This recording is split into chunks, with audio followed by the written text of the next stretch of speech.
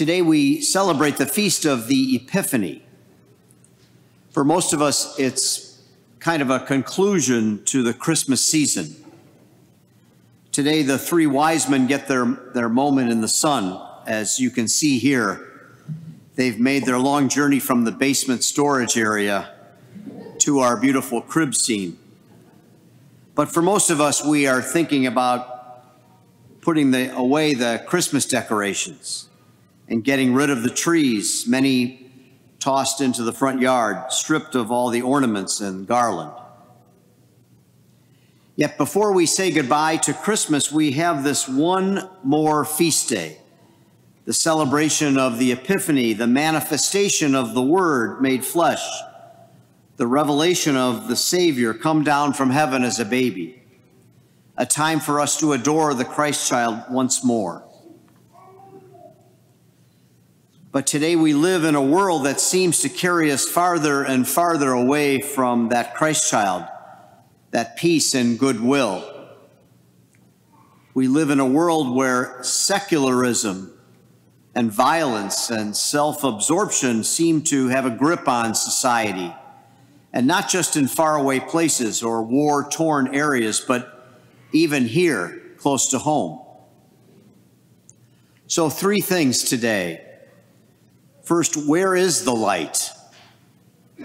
Second, it's okay to be a seeker. And third, be the light. Our first reading is that beautiful poem from the book of Isaiah that we always read on the feast of Epiphany.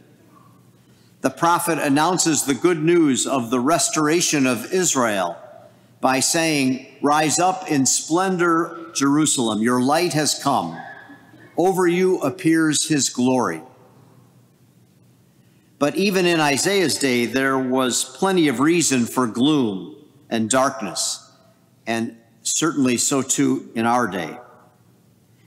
Atheism and relativism and people describing themselves as nones, as in no religious affiliation at all, at an all time high. Last week, my family and I were out of town in northern Michigan, and the church where we attended Mass had a laminated card in the pews. And the prayer on the laminated card was entitled Prayer for Those Who Have Fallen Away. And the pastor said, We say this prayer every Mass, every single Mass prayer for those who have fallen away. And yet, it is not all bleak and darkness. There is, especially recently, in the past five years or so, a sense of rebirth, of lifting of these thick clouds hovering. Just in September of last year, an author by the name of Justin Brierley published a book entitled The Surprising Rebirth of Belief in God. Perhaps some of you have heard of it.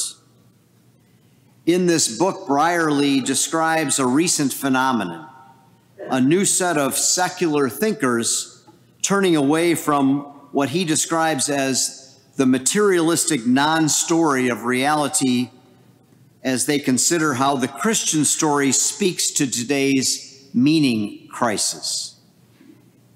In other words, people are recognizing or perhaps re recognizing that there must be more to life than just us.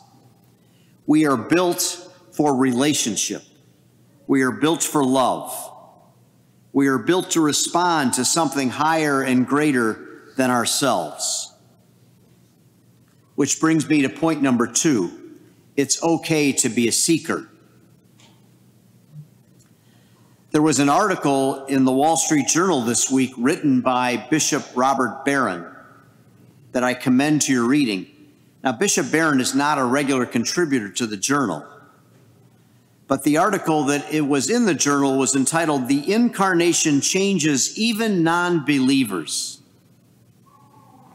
Bishop Barron's premise in the article is that the Christmas message is so powerful that it affects even those who do not believe that Jesus is the Messiah, or even those who do not believe in God at all. he says in this article if you've taken in the story of the baby who is God, you simply aren't the same person you were before. Bishop Barron goes on to say that even if you are a person with no faith whatsoever, your understanding of God is forever changed when confronted with a God who becomes both creator and creature. The closer the creator gets to the creature, the more beautiful the creature can become. And for the non believer, perhaps what is most unnerving about the incarnation is that if God stoops so low to join the human race, then we humans must recognize the possibility that we have a purpose and a destiny beyond the finite reality of our own existence. And we probably don't need any better example of Bishop Barron's premise than in today's gospel, the story of the Magi. We don't really know a lot about the Magi. While legend has given them the three names, those names are not identified in the Bible, and we don't know for sure who they are or what they were, though some scholars suggest that they were astronomers or scientists of some kind. But there is one thing we know for sure about the Magi they were not Jews, they were Gentiles, non believers, pagans, most likely. But most importantly, they were seekers. They knew there was more to their existence and they were looking for it. As Bishop Barron says in this article, the Magi stand for all those down through the ages and across the cultures who have hungered and thirsted for meaning, for the ultimate good, for the living God. The mysterious star led them to the most surprising place, a cave outside the unremarkable town of Bethlehem, where a child lay in a manger. To me, the most important part to remember in this feast of the Epiphany is not that we always find what we are seeking. The important thing is that we are seeking. All of us here have had moments of thick clouds, crises of one kind or another, periods in our lives where our meaning or our worth is called into question. Yet it is the very act of seeking which is the response which delights God.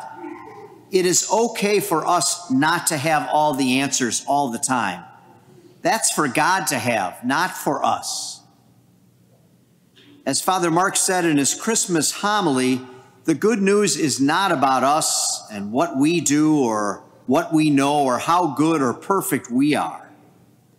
The good news is about God saying, I don't care how messed up you are.